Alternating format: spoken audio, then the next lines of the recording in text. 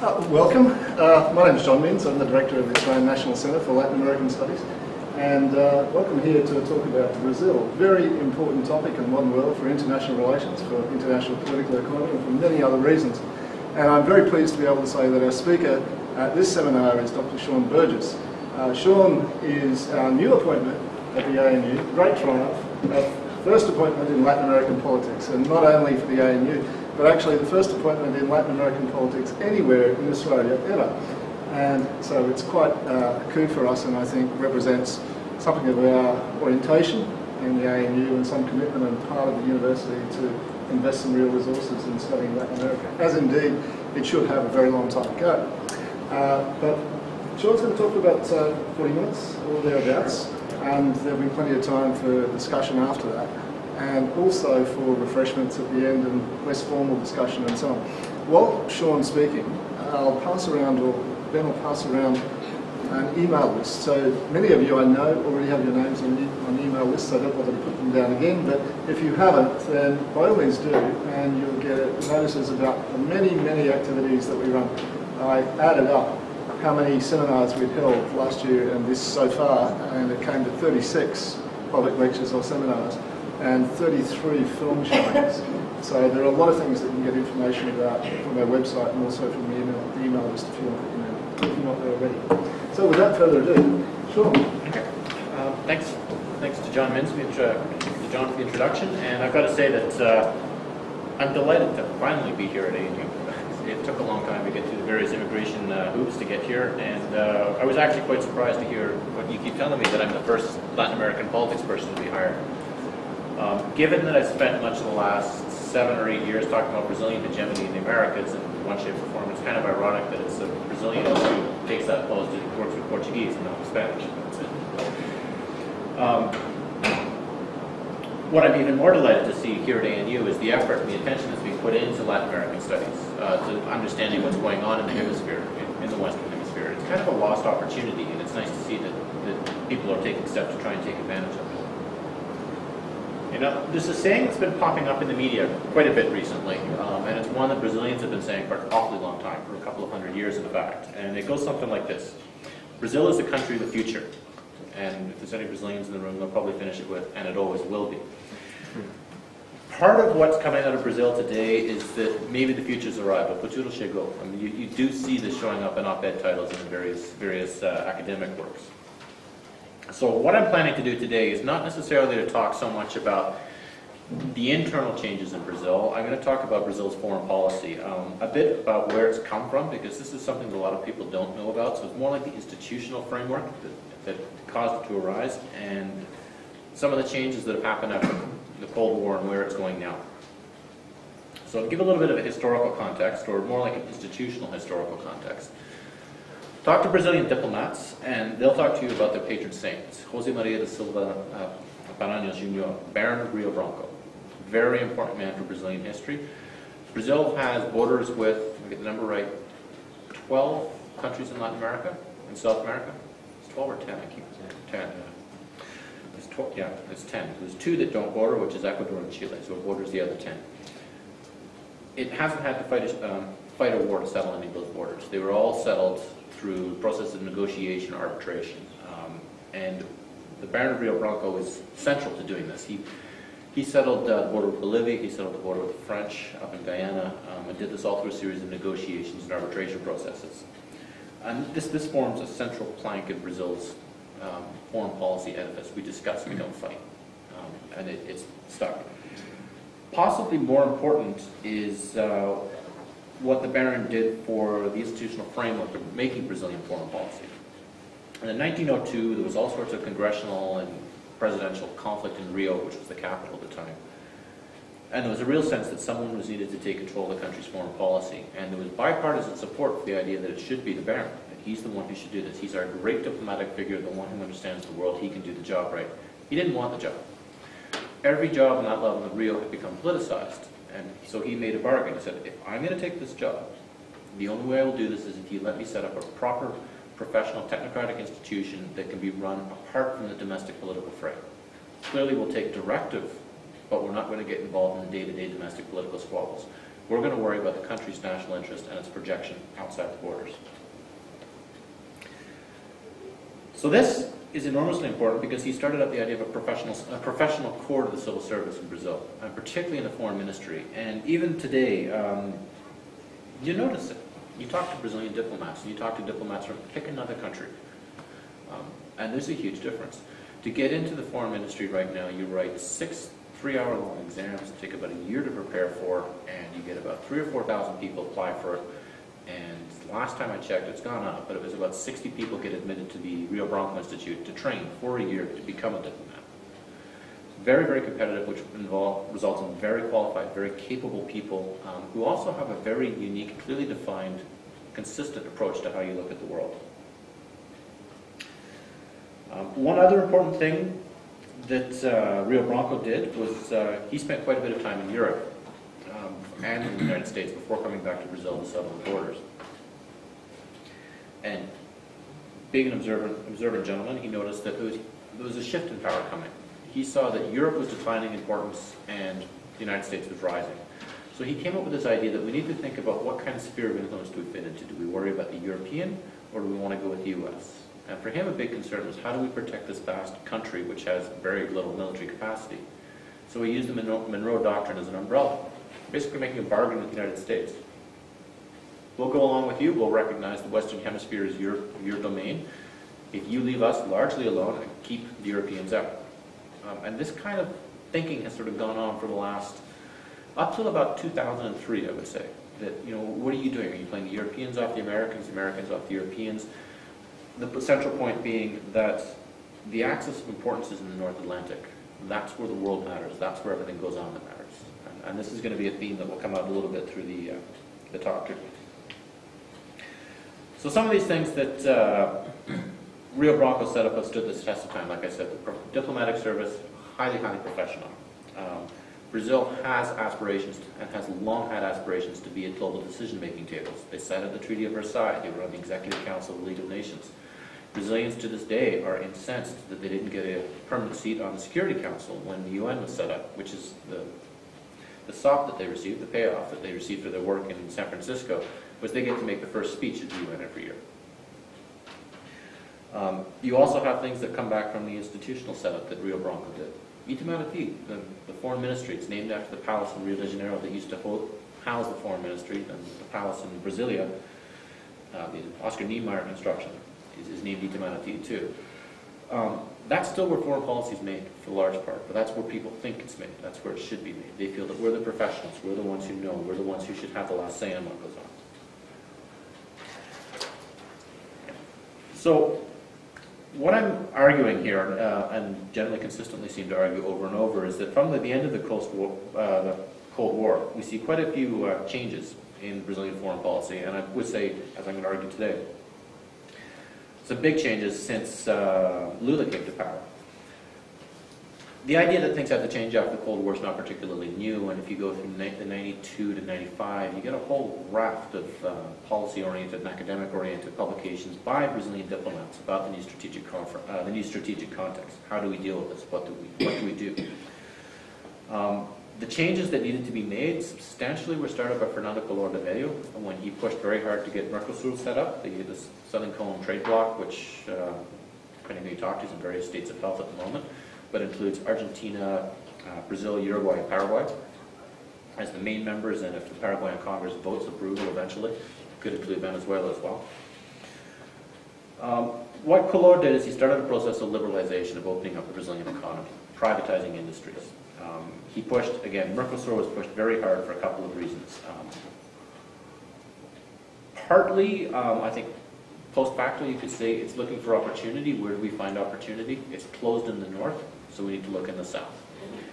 Um, you also looked at uh, Mercosur as essentially just a straight place to, to develop the market so that Brazil had somewhere to grow. There was a political element to it. Democracy was a new thing in the Southern Cone, in South America, or a fragile thing in places. So Mercosur is a very important part of protecting, consolidating democracy, sort of a club that would keep it together. But the prevailing analysis, and I think this is one that, that, fits, is that one of the central problems that Brazil faced in the early 1990s, in fact throughout the 1990s, was, was Brazil a serious country? right? I mean, today we talk only about sort of a little bit more than soccer and samba, or football and samba.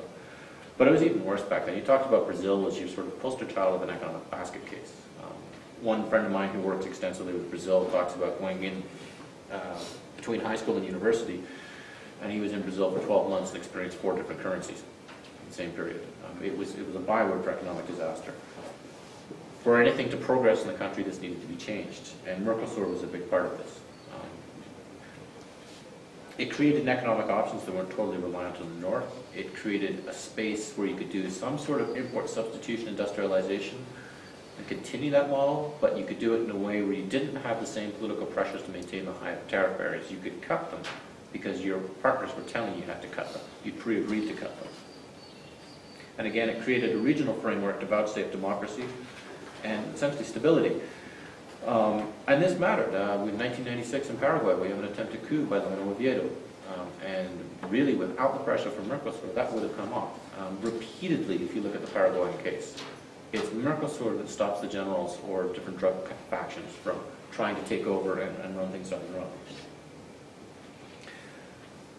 So Collor sort of set the framework. He put a couple of blocks in place, and then we have Cardoso come on the scene. And Fernando Henrique Cardoso, I think he's, you know, my, my feeling is that, um, and this is definitely not popular probably with the government at the moment, but my thinking is that Brazil got incredibly lucky by having this man as president when they did. You got a guy with enormous intellectual capacity, one of the best understandings of the problems of development, fluent in four languages, um, definitely a creature of the elite, um, so able to go to the halls of power in any country and discuss on an equal basis and present Brazil as something that's credible that will work. More importantly, he brought a vision of what he thought Brazil should do and where Brazil should go in a foreign policy context, and it didn't really jive with what the diplomats wanted to do. And he, he said, you know, right from the outset, he had a deliberate program of seeking leadership in South America. And he was crystal clear about this when he met with his, his counterparts, that Brazil should be leading this continent, and we should be leading you somewhere positive. But he could never say this, because at the same time that Cardoso was trying to pursue this agenda, he had a couple of things he had to run into, yeah, to deal with. I mean, first of all, well, how can you stabilize a continent? How can you lead a, a continental landmass forward when you can barely afford to pay your own interest payments on your debt? So they had to get the fiscal house in order. Um, you had uh, cultural, historical reasons for not trusting each other. Argentina and Brazil relations are interesting. That's possibly the best way to put it.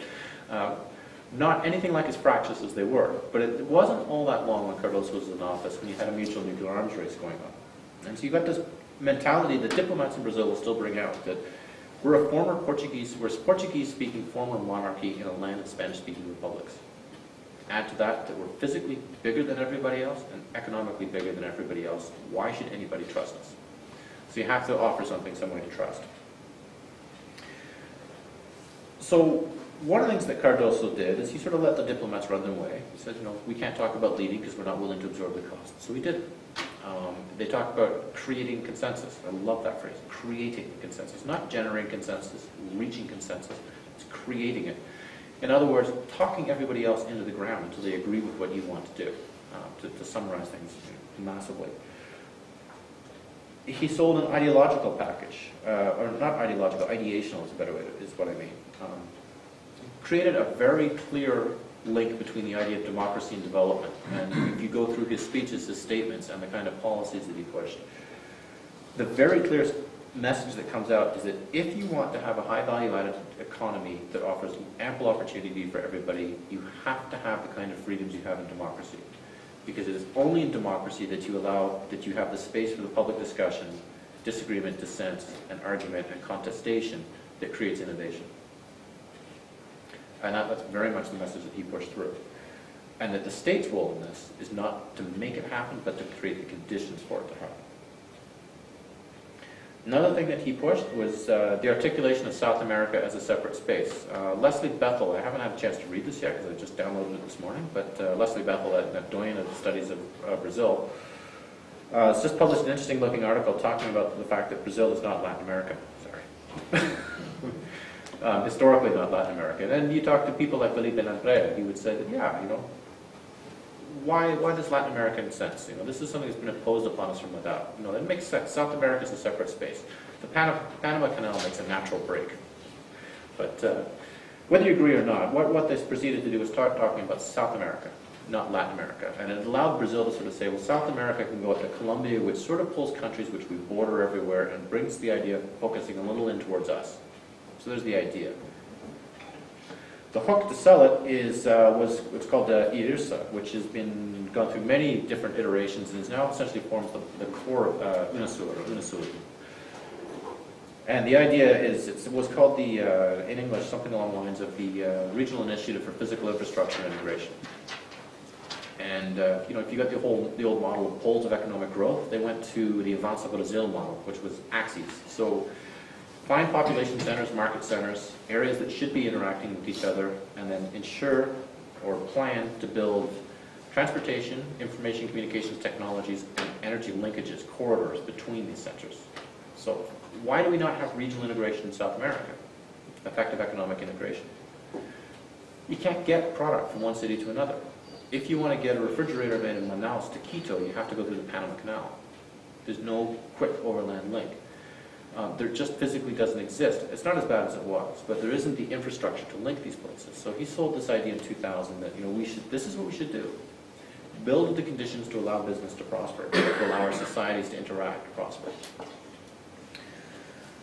On top of this, uh, he built on what Collor had done, and he pushed a very strong model of economic uh, outwardization, I guess, of getting the business actors to begin to look outside Brazil. Mercosur was critical for this.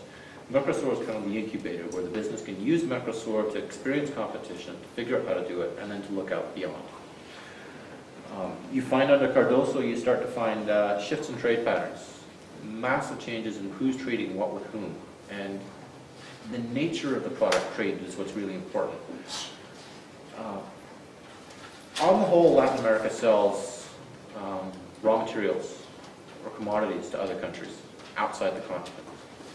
On the whole, Latin American countries sell value-added products to Brazil.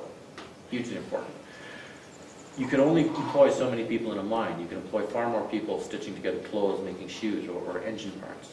So the idea that we need to create these internal linkages. So Brazil would start to encourage uh, imports. Uh, a program that came in at the end called the Competitive Import Substitution Program, which involves uh, the Brazilian trade ministry going out, finding firms in other uh, South American countries that produce something that's being bought by Brazilians and doing the introductions. And at that point, they step back and let them figure it out. You also had a changing role in the National Bank for Economic, uh, Economic and Social Development, the BNDES which uh, I don't, know nobody really knows too much about this place, which is a shame, because last year it loaned out over $100 billion. This thing has got money that makes the World Bank cry. Um, Cardoso, under his rule, which was finished off under Lula, they started a change in the, uh, the EXIM export-import rules that allowed uh, Brazilian firms to use BNDES funding to export engineering services, which means that South American countries could then access affordable financing that they couldn't get from places like the World Bank, or the IADB. You also have shifts, and this is the very important one in the BNDES rules, that allow Brazilian firms to borrow money from the BNDES to make investments in other countries. The BNDES is funded entirely out of the workers' tax. So the rule of the BNDES is any money that comes from this place and spent by this place, invested by it, must be used to create economic activity in Brazil. They managed to work a variance on this that for a firm to borrow money to invest elsewhere, it needs to demonstrate or provide a plan that will show how we'll create an equal economic growth within Brazil within a set time frame. So if you borrow $400 million to do something somewhere else, how do you create 400 million in economic activity in Brazil within, say, five years? Something like that. Right now, for Cardoso, lots of ideas, pushing lots of things. Security, I'm going to leave aside because well, it's just difficult, and it's not, in traditional terms, a huge problem in South America. Um, we can, you can grill me in that in the question period if you want. Uh, Cardoso, of course, he had major financial problems. The Real plan was introduced in 95, stabilized the currency. 1999, um, people lose the faith, and the Real, Real starts to crash heavily. People think this is the end of the world. Uh, very quickly, it stabilizes about 2.7 in the dollar. Um, it dropped down about as low as 3.3. Um, Brazil gets its house in order, things running reasonably smoothly with, a, with a- probably a proper market value for the real, um, which of course is disastrous for Argentina because Argentina is at this point very dependent on Brazil as an export market for manufacturers. Um, Overnight, Argentine manufacturers went up, tripled in price effectively in Brazil. Um, By 2002, this has had an impact. Argentina runs into crisis and collapses economically. So at the end of the Cardoso years, you've got Brazil sitting on the, an economic knife edge. Um, Andre Lara Resende, who uh, was one of the architects of the Real Plan, gave a very, very chilling uh, presentation in November 2002 in Oxford on where Brazil would go. And basically he said, if Lula deviates from the policies Cardoso's been following, that's the end of Brazil. Game over, finished, completely done. Lula didn't deviate. Lula made, did a very, very clever thing. Um, I think it comes down to sort of his pragmatic character. Lula came into office with a fairly basic goal, um, the way I understand it, which was he wanted every Brazilian to have two meals a day. and he would do what he needed to do for this. Um, this posed a bit of a problem, though, because he's coming out of a left-wing political party, um, and they're not going to be so keen on taking on right-wing um, economic policies as it would be perceived. So this is where foreign policy comes into question very much so with Lula, is that you have a big change in Brazilian foreign policy under Lula. Uh, Cardoso is very much run along the standard line. He's been pushing things in a new direction, reorienting, but doing everything subsurface, under the radar, doing it quietly with established mechanisms, not really standing up and doing anything particularly abrupt or challenging the system. Largely because he really is a creature of the system himself. I mean, the diplomats, they did have a year to work him over when he was foreign minister, um, so he's uh, very much part of it. Lula, however, brings very, very big change to, uh, or I think substantial change to Brazilian foreign policy that uh, comes in, in three aspects. The formation of policy, the direction of the policy, and the ambition of the policy. Now, as I said, uh, okay, I'll put that aside. So the policy formation. So I talked about the importance of Itamaraty as the institutional center for forming Brazilian foreign policy. Um, during Cardoso, we saw the rise of what's called presidential diplomacy. As one of Cardoso's aides described it to me, um, one of the challenges with Celso Lafer when he came in as foreign minister is they had, he had to explain to Lafer that, uh, look, you're an administrator, you're not a policymaker. Cardoso, the president will make the decisions, he will be in the photo, you need to be behind him holding the envelope. Um, it, and this is very much the pattern you see with Felipe, Luis Felipe Lampreia, that very capable individual, very good foreign minister, but oftentimes following up on things that have been launched by Cardoso, which was a new direction for foreign policy. Uh, Lula, we find the same thing, but what we find behind Lula is very different people. Cardoso's cabinet was people, uh, cabinet, Cardoso's uh, staff was colonized or peopled by diplomats because he was looking for the best people he could find. He knew them from the foreign ministry, and he pulled them in. Uh, not so much with with Lula. Uh, far fewer diplomats in the, uh, the presidential palace under Lula. What you find instead is uh, the arrival of a new intellectual elite, if you will, a new thinking group. And the PT has got a Workers' Party has a long uh, history of thinking out alternate ways because it's outside of the established system. So it has its own intellectual figures. It has people like Marco Aurelio Garcia, José Dirceu, um, and although he's a diplomat and was fairly high up, Samuel Pinheiro Guimarães. There's a bit of a tension at the start of Lula because everybody knew things were going to change. Um, the diplomats actually in the, in the palace were fantastic to talk to during the 2002 election because they knew the whole thing was changing. Nobody knew what was going to happen. So they talked very freely. It was actually quite refreshing. Um, rumor had it that uh, Lula wanted to appoint Samuel Pinheiro Guimarães as foreign minister. Uh, Guimarães uh, arguably quite hard out on the left. Um, one of the key things, you can get most of the idea from the title of his book that he made uh, diplomats read for about five years. It's called 500 años de periferia, 500 years of the periphery. Gives you a sense of where he's going. Um, Celso Lafer had had to put uh, Samuel Pinheiro into a kind of internal administrative exile because he was speaking out excessively forcefully against the free trade area of the Americas at exactly the point when the Brazilians, I think, were probably busy killing it, but needed to kill it in a way that wouldn't upset the Americans and Canadians.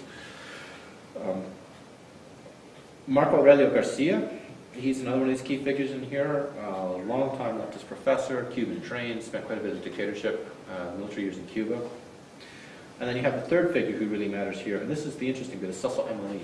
Now, I wouldn't put Celso Amorim out on the left with any of these other people, but I would put Celso, I think he was labeled by one of the major news, international news publications recently is the world's best diplomat, um, which might not be a stretch. I mean, you definitely, if you're talking about people to model off of, he's definitely someone you'd want to follow on. Incredibly capable, uh, possibly one of the only people in the world who actually understands the WTO and what goes on there. Um, he was ultimately put in the position of foreign minister. Samuel Pinheiro was made uh, secretary general, which is the number two of the foreign ministry. Um, he couldn't be made foreign minister because tradition has it either you put a political figure in there, which rarely happens, Cardoso is one of the exceptions, or you have to have been ambassador. And it was a big switch to be able to, it was a big, almost sea change to put Samuel Pinheiro as secretary general, because again, those individuals have almost always been ambassadors, and he had. All right, so what else goes on with this? Um, the idea is the directions that come from. So you've got a couple of figures who remain within the system, but then you've got figures who don't. There's a couple of different advisors floating around in places like the Defense Ministry. They set up a new ministry eventually called the uh, SAA, the Strate- uh, Ministry of Strategic Affairs, which is kind of this blue skies thinking place that was run by uh, Roberto Mega, um, Mangabeira Unger, who was a philosophy prof at Harvard. All sorts of non-diplomatic people, untrained people, are starting to suggest to Lula, we need to do this, are setting the, the grand path of where things should go. Um, left-wing thinkers, more in line with Samuel Pinheiro than with Fernando Henrique, are getting put into places like the, the BNDES. Um, one of the executive directors, Darc Costa, has this really rather amazingly interesting book in a sort of backwards way on what should happen in South America. The idea that Brazil should be the leader of South America and it should produce all the manufactured goods and everybody else in the region should supply the, the raw materials. Um, I don't think very many people have read this book and it kind of possibly stopped his rise, but uh, this is the kind of thinking that's coming into the foreign policy process. So that's the left wing end. It's push, very much pushing the left wing sort of things I'm going to talk about in a little bit. There's also a right wing push uh, from business that's pushing in. Uh, you have Luis Fernando Furlan, who I believe was the head of international relations at Fiesp, is appointed the uh, Minister of Development and International Trade, uh, MDIC. That's also the post that is uh, the ministry that's in charge of the BNDES. Furlan's very interesting because he's been talking this idea that Brazil should be a massive agriculture exporter, and he's been talking to people in Sao Paulo. At the same time that he's doing this, Marcos Jank, who is an agriculture economist at the IADB, has realized that, look, we don't know what we're doing in my country comes back to Brazil and he goes to seven producers federations for uh, chicken and corn, sugarcane, grain, beef, um, and pork. Goes to these federations and says straight up, I want you guys to give me a million dollars each. I'm going to set up an independent think tank that's going to crunch the numbers and do the analysis and tell the government how it should set its policy in technocratic terms. The result is ICONE, it's the Institute for International Agricultural Economics. These matter because by 2003, uh, Jank, who's been making all sorts of noise in the op-ed columns, goes quiet, silent, and you have Cancun happen, uh, the Cancun ministerial when G20 trade arises. This happens because all sorts of ideas on how to formulate agriculture negotiating policy are being pushed into Itamaraty. There's a whole new technocratic uh, legal dimension to trade talks and foreign policy that's getting pushed in on a commercial basis, not necessarily on the traditional power politics basis. Um, so effectively, industry's not got a voice. Defense starts to push in with national sentiments. It starts to come quietly. Um, by 2008, we've got the Política de Defensa Nacional, new national defense policy, which is a really fascinating um, document, uh, just for the way it's printed. On the cover of the document, uh, you have, it looks like a target, but it, that's the wrong way to read it. There's a guy named Golbery Couto Silva who came up with the uh, geostrategic model of foreign affairs, where everybody's got this, this sphere of influence in concentric circles. And it's Couto Silva's diagram is the watermark that runs all the way through the, the document. You read the document, and it talks about needing to have unified command and control structures, unified operational structures, interoperable equipment. You're looking at NATO in a South American context almost. Um, of course, who's going to be the center of all this? Brazil, right? They've got the armament factories, they're the one driving the ideas, they'll probably fund it somehow as long as you buy Brazilian weapons. But again, it's pushing foreign policy in a different direction. Uh, natural resources start to push extremely hard in Itamaraty. Why can't we get contracts in Africa? What's going on in Bolivia? You know, it's, it's, this opening process started the Cardoso, it's now starting to create all of these pressures that are pushing in on the foreign ministry, demanding reaction, demanding new directions. Uh, Congress starts to ask more questions. Foreign policy appears in the press, right? It used to be at one point the only place you could find discussion of international issues was on the business pages. It's now in the op-ed columns. It's now to the point in O Estado de Sao Paulo, probably once a week there's an op-ed or an editorial on foreign policy of some kind. More frequently when you see adventures like what happened with Iran. So all of this boils down to a democratization of foreign policy making in Brazil. Uh, all these new ideas. So these new ideas do not largely come out of the foreign ministry. Um, they've been pushed onto it from somewhere else, and this is very, very new. And this creates a very new challenge for the foreign ministry. Can you speed up, Dora? Okay. Talk to you. Okay. Um, all right, so on top of this, uh, you got shifts in the literature, depends where you are. If you read guys like Rubens Barbosa, Celso Lafer, Rubens Ricupero, Fernando Henrique Cardoso, the kind of op-eds they're writing, generally anything you see in O Sao Paulo, uh, which is frankly is what I read, but it is kind of on the right, getting extremely shrill as we go up to the uh, presidential vote. Um, they talk about a nonsensical, ridiculous shift to the left, uh, and uh, lack of strategic direction when you start to think about what's happened with Brazilian foreign policy. Now, Samuel Pinheiro, Marco Aurelio, they have a different worldview than the, the guys who were running the foreign ministry of Brazil. They, they certainly do. You've gone from the center-right uh, PSDB to center-left, increasingly center uh, Workers' Party. Of course you're going to have different ideas coming through, and they've been pushed through. So what do you have? Well, Marco Aurelio Garcia, uh, Samuel Pinheiro Guimarães, I mean, you look at the trajectory of what they've written, what they think, the titles of their papers and their books, they see space for global uh, solidarity in the South. This isn't an abstracted idea to them. This is the way forward. This is something they see that will work. And so you do very quickly see a reorientation of what goes on with Brazil. Um,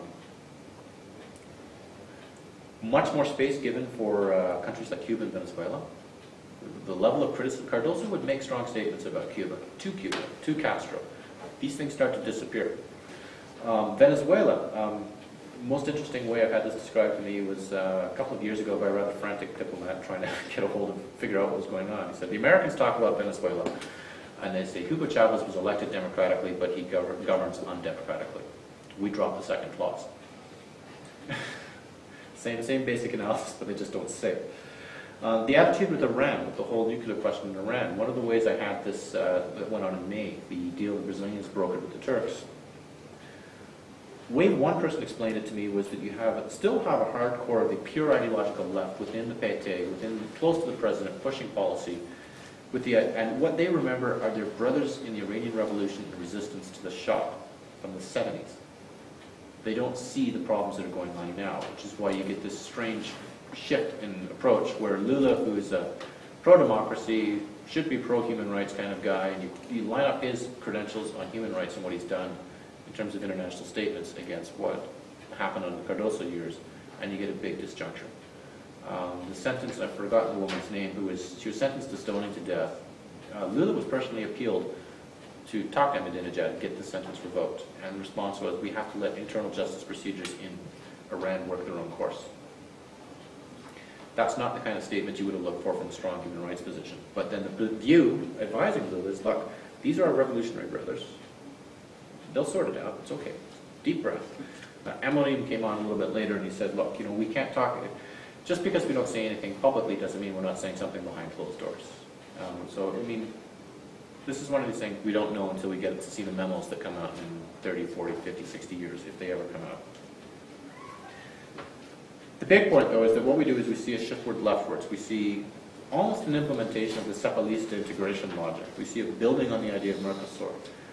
Uh, we see an approach to the South that doesn't see it as a problem, but sees it as an opportunity.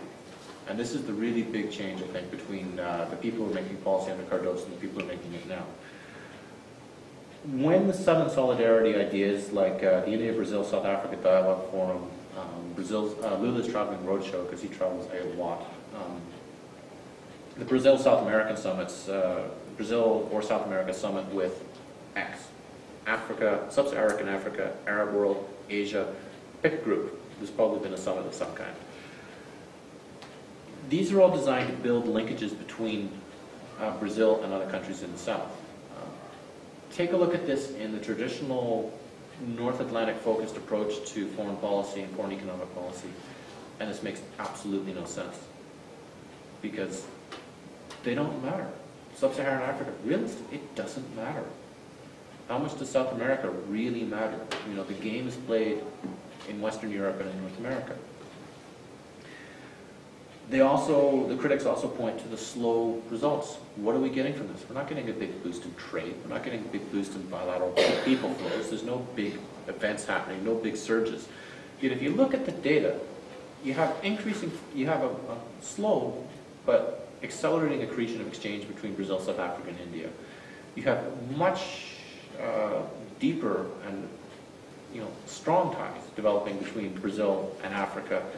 Uh, you have it's interesting that the whole discourse around Brazil and its Latin American neighbors or in South America has changed over the last four years. Whereas before people say, well, we don't want really Brazilian leadership, you know, we don't trust them, we don't want what can happen.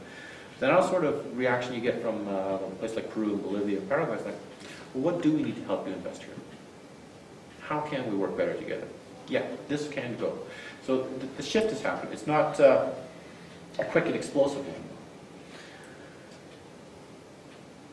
So what, what this comes down to is, is a new direction in, uh, in Brazilian foreign, it's, it's uh, a reorientation of the sense towards the south. And it does, on the surface, make no sense. But then if you stop and you start to look at who in Brazil matters in terms of international relations, who are the big players? It's Petrobras, Vale, Beto Odebrecht, uh, Andrade Gutierrez. These are construction companies and mining companies. Where are they going to make their money? I mean, yes, there's a lot to do in Rio to do with the Olympics and the World Cup uh, probably more in Sao Paulo where there's still no stadium. Right? There's, there's a certain amount they can do in South America, but essentially they saturated that market. Um, where are the resources that the mining companies can exploit? They're all in Africa.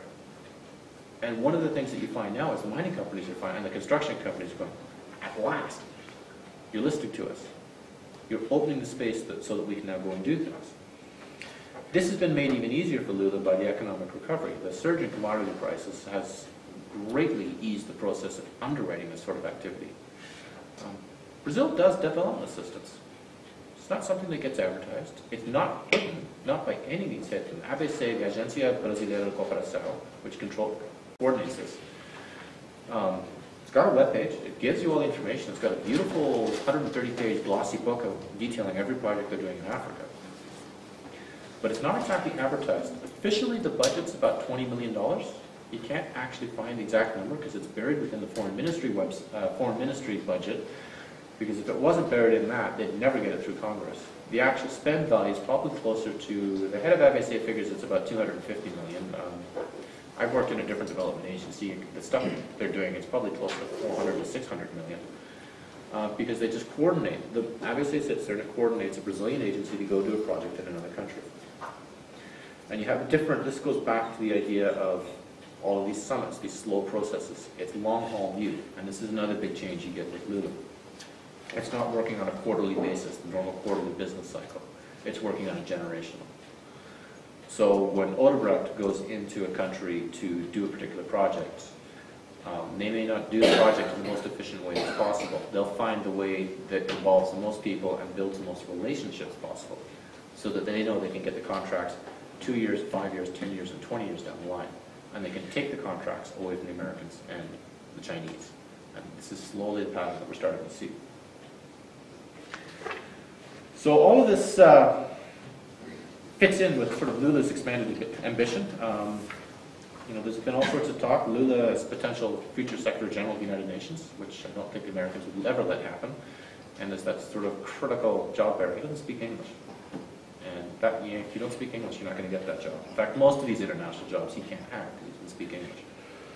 Uh, but you do see Lula sort of embracing this idea of I am the global leader, I am leading the South. Um, it's been getting, it's almost like he's gone into hyperdrive legacy mode in the last six months. And so this, the, the rational aspects of what I've been mapping out has sort of at, at times have fallen off the rails in the last little while. Um, I think he got called back in, reined back in a bit in July.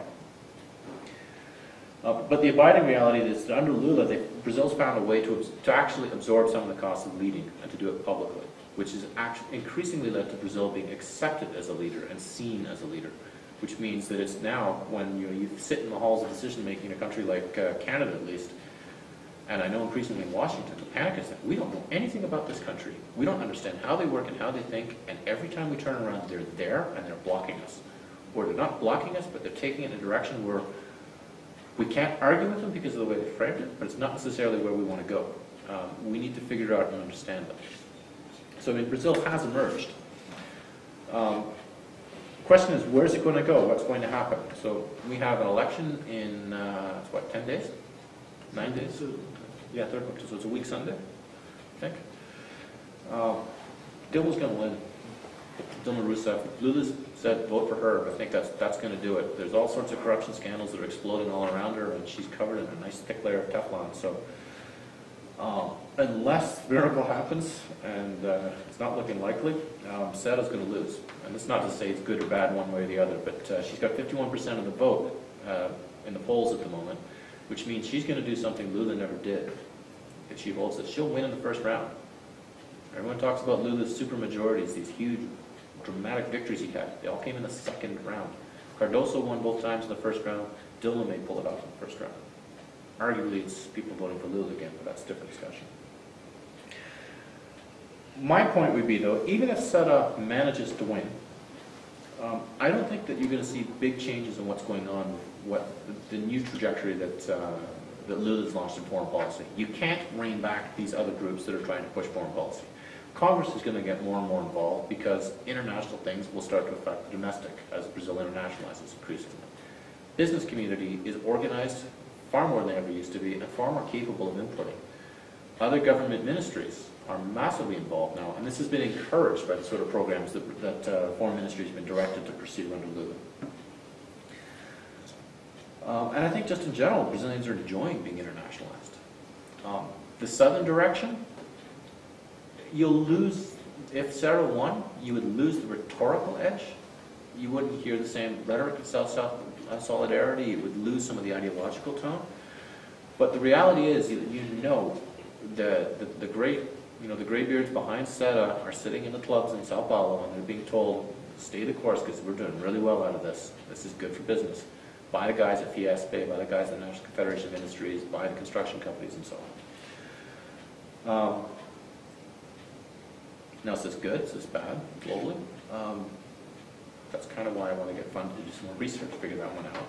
Uh, arguably, I'd say that this is probably not necessarily a bad thing. Um, I think, this is what I think, that if we take the time to study and to engage Brazil, to look at what Brazil's been up to in the last while, we're going to find a different, we're, we're still going to find a capitalist model, a predominantly liberal model approach to the world, but we're going to find something a little more interesting. The Pope John Paul talked about the savage face of capitalism when he was in Cuba. I think what we might find is a capitalist face that's not savage coming out of Brazil. So perhaps it's a stretch, but I think we really do need to pay attention to it because uh, Brazil, for a number of reasons. One, they are going to be pushing global governance reform very hard, and they're going to keep doing it. Uh, second one, if you're Australian, um, and you're worried about the future of your country, they're your competitor. Right? Where do we, where's Australia make its money? Mining, agriculture. You need to know what Brazil's up to. Uh, particularly a company like Vale and the links, the, the state, uh, the quasi-privatized, privatized state links, um, that, that's a whole different discussion and it's very interesting. There's a lot there. It's something that needs to be paid attention to. And the other, the final point, I mean, why does Australia? Why do we need to be watching Brazil and paying attention to it? Well, again, Australia is based on agriculture and on mining. There's only so many places on this island that you can dig up minerals. So our mining companies here are going to have to go and find resources elsewhere, place other places where they can do their extractive industries. And the Brazilians are already there. Thank you, Sean.